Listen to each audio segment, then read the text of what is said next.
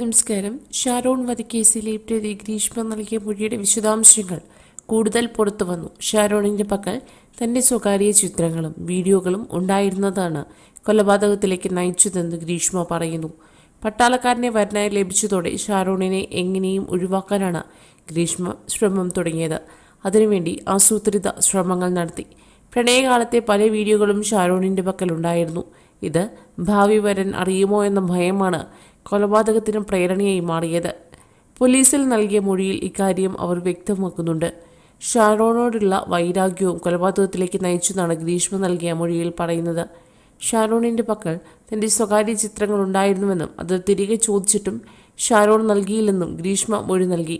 സ്വകാര്യ ചിത്രങ്ങൾ പലതവണ ആവശ്യപ്പെട്ടിട്ടും ഷാരോൺ തിരികെ നൽകിയില്ല. ഇത് പ്രതിശ്രുത വരന് കൈമാറുമെന്ന് ഭയന്നിരുന്നു ആത്മഹത്യ ഭീഷണി ഉൾപ്പെടെ മുഴക്കിയിട്ടും ഷാരോൺ വഴങ്ങിയില്ലെന്നും ഗ്രീഷ്മ പോലീസിനോട് പറഞ്ഞു. പ്രണയം ബന്ധുക്കൾ അറിഞ്ഞപ്പോൾ പിന്മാറാൻ ശ്രമിച്ചു.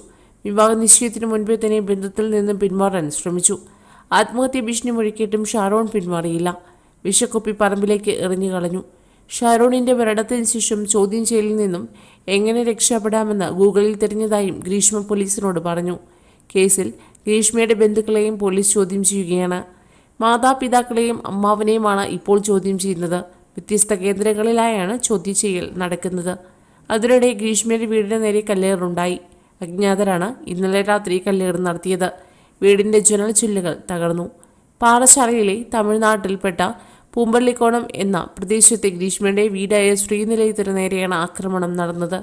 വീടിന്റെ ഗേറ്റ് അകത്തു നിന്നും പൂട്ടി നിലയിലാണ് ഗ്രീഷ്മയുടെ മാതാപിതാക്കൾ ഇന്നലെ ഈ വീട്ടിലേക്ക് മടങ്ങിയെത്തിയിരുന്നില്ല. ഇവരെ പോലീസ് രണ്ട് സ്റ്റേഷനുകളായി പാർപ്പിച്ചിട്ടുണ്ടെന്നാണ് വിവരം. അതേസമയം തിങ്കളാഴ്ച രാവിലെ നെടുമ്പങ്ങാട് പോലീസ് സ്റ്റേഷനിൽ ലൈസോൾ കുടിച്ച് ആത്മഹത്യയ്ക്ക് ശ്രമിച്ച ഗ്രീഷ്മയുടെ ആരോഗ്യനില തൃപ്തികരമാണെന്ന് പോലീസ് നൽകുന്ന വിവരം.